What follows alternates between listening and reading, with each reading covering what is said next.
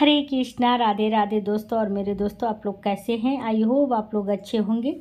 दोस्तों, आज का कुछ बहुत ही अच्छी भाव आप लोगों के साथ एक भक्त का हम शेयर कर रहे हैं। एक भक्त थे।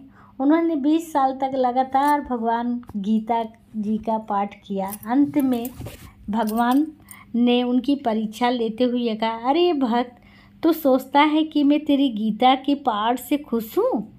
तो ये तेरा वहम है। मैं तेरे पाप पाप और पाठ से बिल्कुल भी प्रसन्न नहीं हूँ। जैसे ही भक्त ने ये सुना तो वो नाचने लगा। भगवान सोचने लगे, ऐसा हमने क्या कर दिया? जो वो नाचने लगे और झूमने लगे। भगवान ने कहा, भगवान ने कहे, अरे, मैंने कहा क्या कि मैं मैं तेरे पाठ करने से खुश नहीं हूँ। तू नाच क्यों रहा है?